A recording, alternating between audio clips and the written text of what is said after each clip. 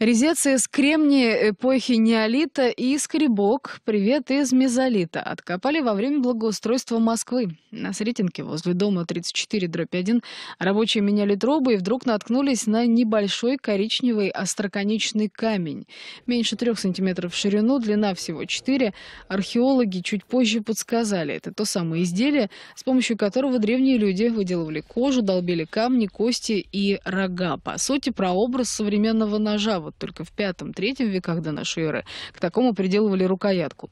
Эта находка очень обрадовала Департамент культурного наследия Москвы. Там рассказали, кремниевый резец говорит о том, что именно район нынешней Сретенки в свое время облюбовал древний человек. И добавили, возле десятого дома по Покровке наткнулись на скребок более позднего периода мезолита, 7 век до нашей эры. Это полуторасантиметровое приспособление делало шкуры тоньше. Причем специалисты сразу заявили, что резец и скребок Грибок – самые древние из ныне найденных даров столичных улиц. А напомню, их за время благоустройства были уже сотни. Только в этом году нашли колодец времен Екатерины II, тайные комнаты в Китайгородской стене и шахматную фигуру времен Ивана Грозного.